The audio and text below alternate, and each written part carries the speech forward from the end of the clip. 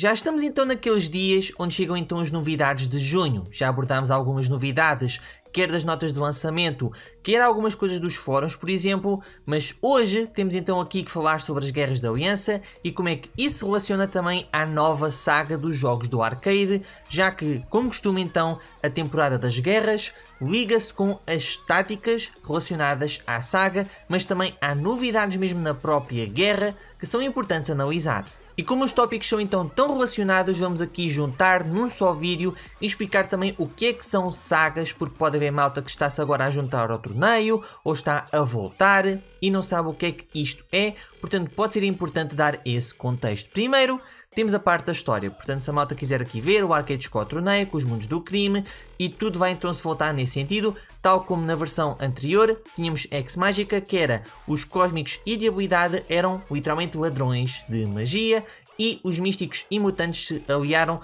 para enfrentar essas forças. Tanto que será importante quando chegarmos ali aos campeões também pensar um bocadinho nisso. Mas primeiro, o que é que são sagas? São temporadas de múltiplos meses de conteúdo que irão oferecer uma ligação entre diferentes áreas do jogo e dar mais força e relevância à tua equipa. Portanto, neste momento, por exemplo, são 3 meses e oferecem ajudas para conteúdo solo e multijogador, além do habitual, por exemplo, vamos ver ali a seguir, que há ligações para conseguir alguns desafios usando os campeões respectivos. E podem ver aqui também que existe um amplificador temporário de ataque e saúde, que já confirmaram pelo menos connosco que será igual ao anterior, 10% de ataque e saúde, para os campeões da saga, desde que sejam então usados no ataque é as duas etiquetas. Portanto, mesmo aqueles que são defensores da Casa dos Espelhos vão se aplicar na mesma se forem usados no ataque e ajuda para a fase de ataque das guerras, das invasões da Aliança e do campo de combate, missões da Aliança, incursões e arenas e eventos de missão e secundários. E vai então começar no dia 5 de junho, portanto é quando começam então os novos eventos.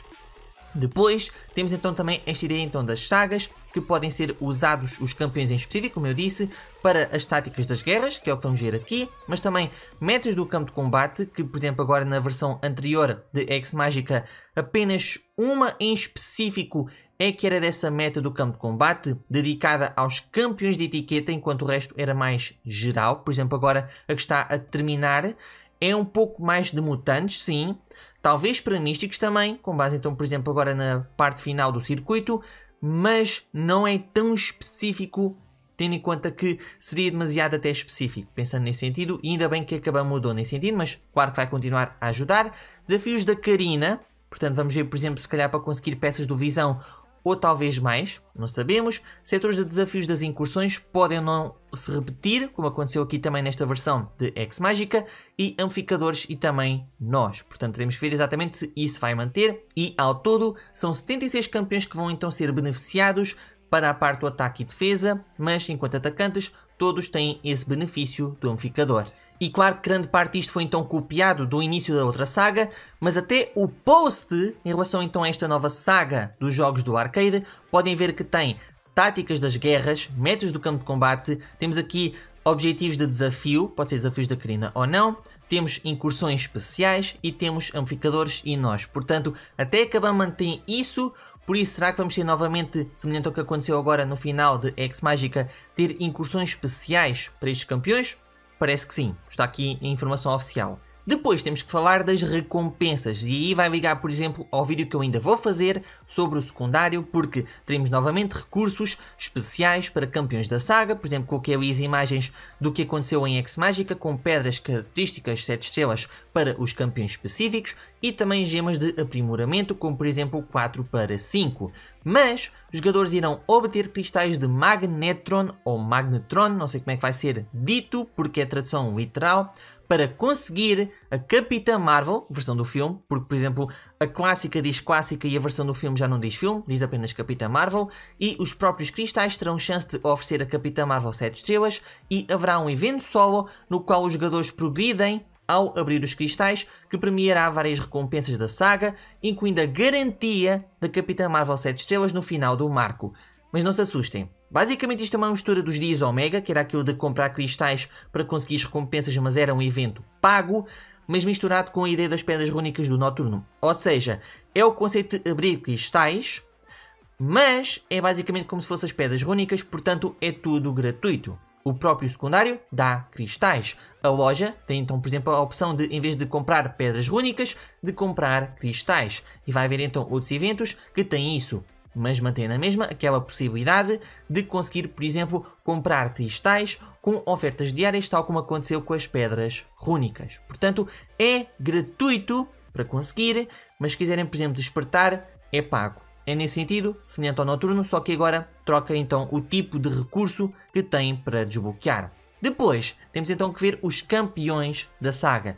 Se quiserem, esta imagem está no meu Instagram e tem então aqui os campeões da tática da defesa, Casa dos Espelhos, e da tática do ataque, que é a lucidez. Onde falta um campeão científico, falta um campeão cósmico e um campeão de habilidade com base no que nós sabemos de teorias e também do que foi agora revelado recentemente, temos a possibilidade do científico ser o líder para o evento de julho, da habilidade possivelmente pode ser o Patriot ou Patriota, que até apareceu na série do Capitão América Sam Wilson, e também o Cósmico será o Bill-Ray Beta, como possivelmente então o campeão, depois de uma pista dupla de 3 meses, seria então, por exemplo, agora junho, julho, agosto, por exemplo. Não sei se será, teremos que ver. Pode ser que seja, por exemplo, mais curtinho, não sei. Porque a saga em si começa em junho e se as sagas duram 3 meses, fica um pouco mais complicado o Bill fazer parte de uma pista dupla de 3 meses se só vai começar agora em junho. Portanto, fica um bocadinho mais confuso, mas ainda é possível. Para ser então junho, julho e depois em agosto obter-se o campeão. Mas também é importante pensar que, pensando na saga Ex-Mágica, os campeões que eram da defesa agora são do ataque. Portanto, pode haver esta ligação e rotação que é, tivemos místicos e mutantes, cósmicos e habilidade, e agora tecnológicos e científicos, e na próxima saga, a seguir a esta, será tecnológicos e científicos no ataque, com aquela lista, e depois volta místicos e mutantes, mas para a defesa. E assim cria então este loop de três grupos de táticas, que por um lado são três grupos de campeões de duas classes cada. Portanto, fica então aqui uma boa rotação, a menos que acabamos queira depois mudar, por exemplo, a combinação de classes que querem cada uma, mas parece bom, porque assim, campeões que nós subimos para Ex Mágica, especialmente cósmicos e de habilidade, podem ajudar agora nesta. E há campeões partilhados entre táticas, portanto, nós não só tem essa ajuda dos recursos específicos ajudar campeões específicos, como uma saga liga à outra nesse sentido. Eu acho que é bastante bom. Depois, temos então que começar a falar da guerra, ou seja, da temporada 50, onde a pré-temporada já começou, dia 29 de maio, e a temporada em si começa a 12 de junho. E podem já ver aqui alguns ícones, com base então no que está presente nesta nova tática das guerras. E haverão formas de controlar melhor a nossa defesa. Temos aqui, por exemplo, o caixote do lixo dentro da lista de pessoas que estão então num grupo de batalha nas guerras e se carregarem no caixote, limpa a defesa toda desse grupo. Se carregarem no perfil, por exemplo, temos aqui o meu caso e tem ali o botão para retirar a defesa especificamente dessa pessoa. Portanto, mais controle, mas não termina aqui. Temos também aqui na parte das combinações, onde podemos escolher durante e fora da temporada coisas individuais e depois tem aqui alistamento automático dos grupos de batalha, podemos escolher se é então 3, 2, 1. Se o posicionamento é automático ou manual, e também se queremos a remoção automática da defesa para cada um dos grupos, ou seja, mais controle. Claro que a maior parte das vezes será melhor automático, mas pode ser bom, por exemplo, para controlar com base em algumas alianças que não usam os grupos todos, ou que querem mudar, com base então também no que aconteceu com as temporadas diferentes. Por exemplo, agora a nossa defesa estava então preparada para Ex Mágica e agora tem que mudar para ser então de Casa dos Espelhos e também da parte da lucidez. A seguir temos aqui três pontos de novidades que são importantes falar. Primeiro, temos os pontos de diversidade que se vão manter elevados. Quando foi então ainda na temporada relacionada a Ex Mágica, a Kabam aumentou os pontos ganhos pela diversidade para não ser, por exemplo, só mercenários na defesa e causar chatices. Agora, e vai continuar então, Cada defensor distinto no mapa dá 270 pontos, que é equivalente a 3 bónus de ataque. Portanto, a diversidade continua a ser então um grande fator e como foi então bem recebido, aquele gostou do resultado de ver diversidade na defesa, vai continuar. Acho que é positivo no meu caso. Depois temos a lealdade por luta vencida no ataque, onde acabamos tentou em temporadas anteriores, mas não estava a calcular corretamente o valor. E agora já na temporada 50 estão felizes e acho que já conseguiram mesmo fazer tudo a funcionar corretamente. Portanto, quanto mais lutas fizerem e vencerem na guerra, mais lealdade ganham no final dessa guerra. E por fim, algo que só vai afetar algumas pessoas que se calhar nem estão a ver este vídeo, não sei, que é alianças de elite vão passar a banir de 3 para 5 campeões por guerra. Ou seja, há a parte de banir completamente, aquilo que está então com base na temporada, o imune a banir, e depois cada aliança escolhe sempre então 3 banimentos com base em cada guerra. Por exemplo, se a defesa for, por exemplo, num estilo, conseguiriam banir os campeões que seriam bons contra essa defesa. Aqui, Elite, já que é então o topo dos topos, passa a poder banir 5 campeões e as pessoas têm então ser mais estratégicas para saber que campeões é que podem levar, que façam as lutas que querem e não sejam, por exemplo, aquelas opções de topo, já que essas são mais comuns de serem banidas.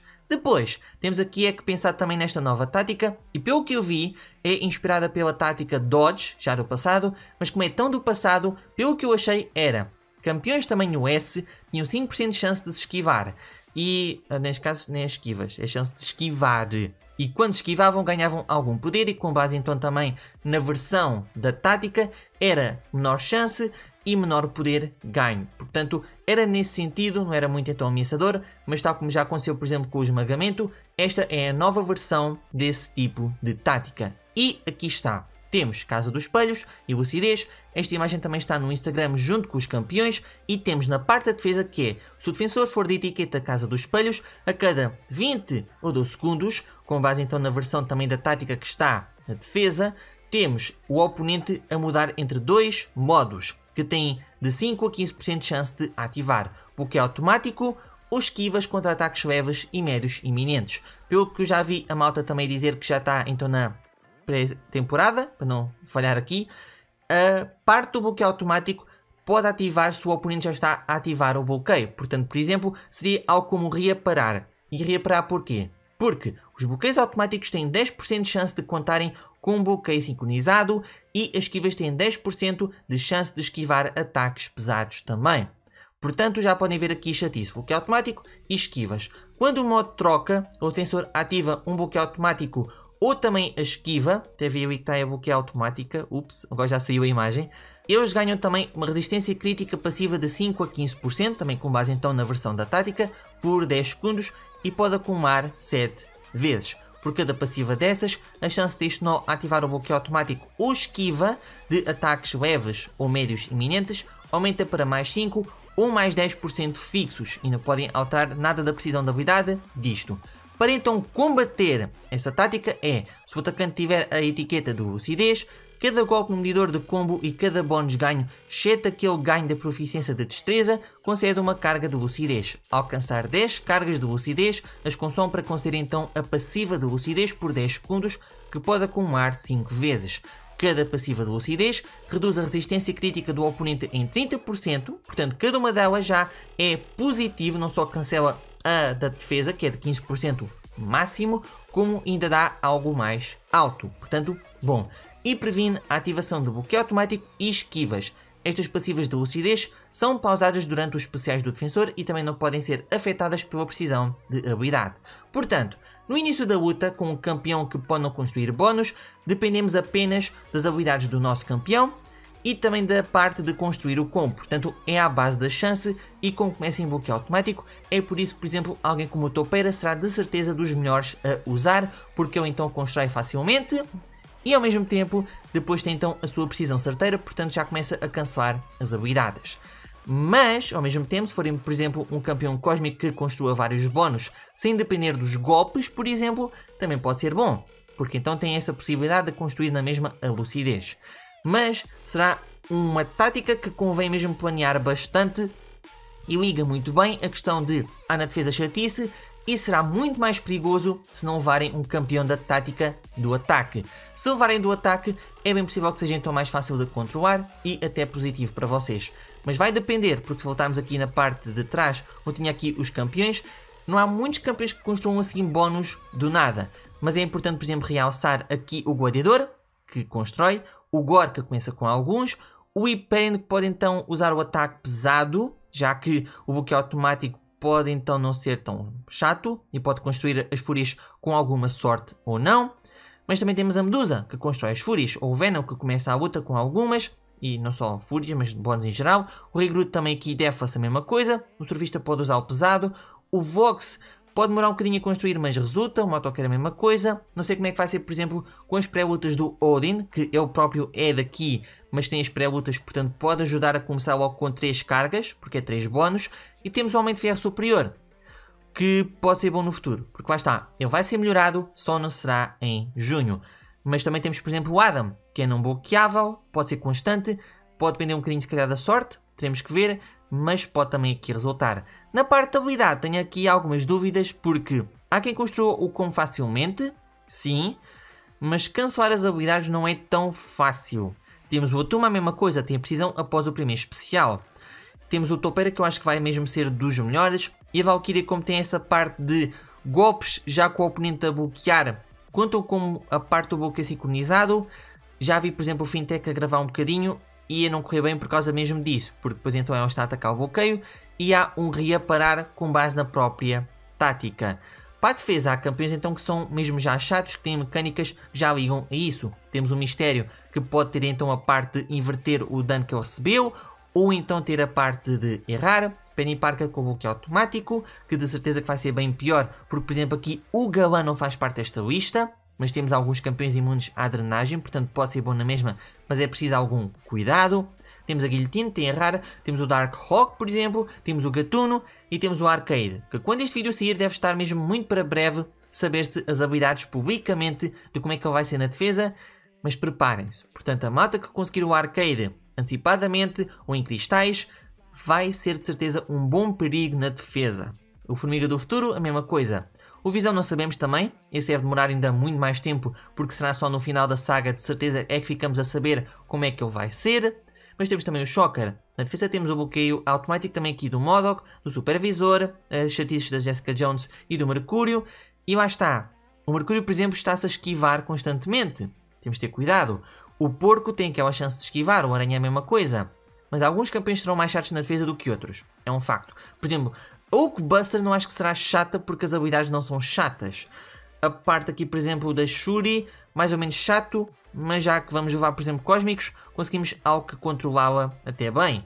Portanto, é mesmo aquela ligação das duas táticas que vai ser importante relembrar e ter então, por exemplo, não só a lista de campeões já guardada com esta imagem ou vem então no jogo, ou então ainda usar alguns recursos de Ex Mágica para subir alguns campeões de lucidez para serem importantes agora nesta tática. E por fim, só falta então aqui ver os bans e imunes a banimento que vão estar presentes nesta temporada. Portanto, em desafiador, o nível mais baixinho, a Kuchawa é banida mesmo e o Homem de Gelo é permitido. Em Perito, é Kuchawa e Dominó que são banidas e depois o Bispo e o Homem de Gelo que são permitidos. E em Elite é Dominó e Mancha banidos e Bispo e Kuchala permitidos. Portanto, podem ver aqui as diferenças nos campeões que foram usados em cada nível, porque isto não é Kabam que escolhe, é com base nos campeões mais banidos nas temporadas anteriores. Portanto, por exemplo, podem ver que nada aqui se liga à ideia agora da Casa dos Espelhos